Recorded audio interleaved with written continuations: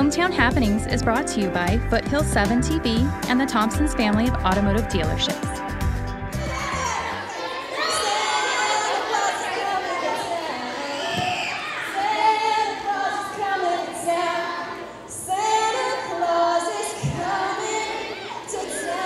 So we're here today with uh, Boys and Girls Club in their holiday closet program. It's uh, set up for all the kids. About 170 kids will be coming through today, and uh, Wells Fargo's had a great partnership with the Boys and Girls Club. Sean and the board here do a great job of helping the youth and, and providing opportunities for them to learn and to grow in after-school programs. Ho, ho, ho, boys and girls! So, how's the pizza?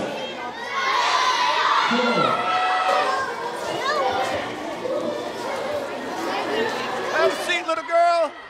What is your name? Vanessa. Vanessa. What a beautiful name. Vanessa, what would you like from Santa? Kurio Touch 4S. A what? Curio Touch 4F. Oh my gosh, that sounds like so much fun. Well, I hope you get that. Have a great day. Merry Christmas, Vanessa. What's your name, little boy? Jordy. Jordy, what would you like for Christmas? Video games. Video games. Have you been a good boy? Yes. We love Foothill 7. Say it, Jordy.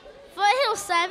Yay. Okay. You know, we are inspired by uh, the efforts of these nonprofits that are really putting their time into uh, the community, and we're lucky that we have a lot of volunteers and Wells Fargo team members that really want to be in the community and give back with time. And again, we're just proud to be a part of the community and proud to be a part of uh, uh, events like this here at the Boys and Girls Club this year. Ho, ho, ho, everybody, and a very Merry Christmas from the Boys and Girls Club of El Dorado County, Western Slope.